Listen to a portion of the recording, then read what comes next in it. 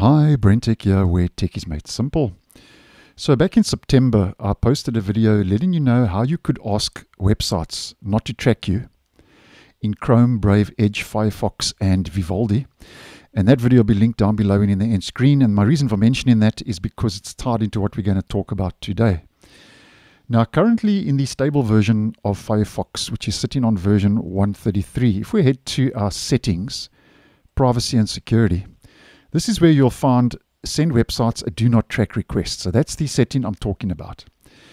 Now, just to let you know that in Firefox 135, which is currently the nightly preview version, so that's an early preview like Edge and Chrome Canary, Mozilla has now removed this do not track setting from the browser. And if we just head over to version 135 and we head to our settings, privacy and security, yeah, you'll see the setting has been removed. Okay. So basically, Mozilla, while they've done this, they say it's not an effective privacy measure anymore because they say a lot of websites just ignore a do not track request. And they say this officially, and I'm quoting starting in version 135, the do not track checkbox will be removed. Many sites do not respect this indication of a person's privacy preferences, and in some cases, it can reduce privacy. And we've actually spoken about that previously on the channel.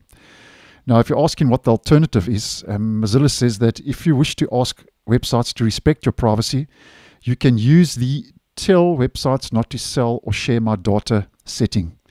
They say that this option is built on top of the Global Privacy Control, GPC, and they say GPC is respected by increasing numbers of sites and enforced with legislation in some regions. So that's the reason why they are making this change. And if we head back to stable, we have both settings still available.